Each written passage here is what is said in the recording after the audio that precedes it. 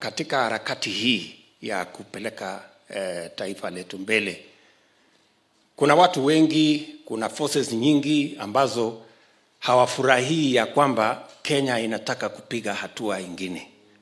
Ndio unaona kuna msukosuko mkubwa, kuna mipango mingi, kuna watu wanapanga hivi na vile na vingine.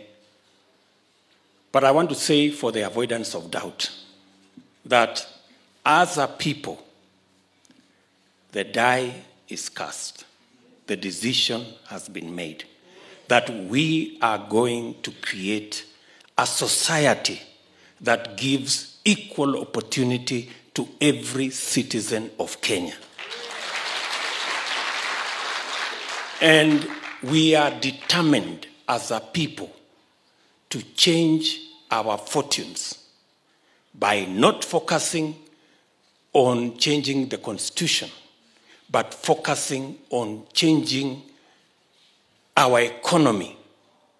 And through the economic revolution of the bottom up model, it is not the mighty, it is not the known, it is not the powerful, but it is the ordinary people, the jobless, the unknown, the weak, the despised that will form an alliance that is going to propel the bottom up economic model and cause a revolution that will make sure that every Kenyan has an opportunity like the other Kenyan, and that we are going to create a society that gives equal opportunity to everybody.